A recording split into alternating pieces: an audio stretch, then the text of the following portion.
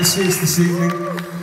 And uh, it's an honour for us to be here in Argentina for the first time uh, in 37 years.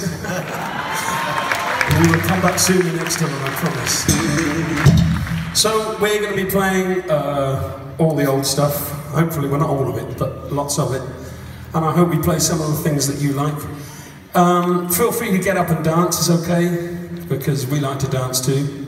But we got a long way to go yet. Because there's a real family vibe going on here, you know, and I think we should keep it.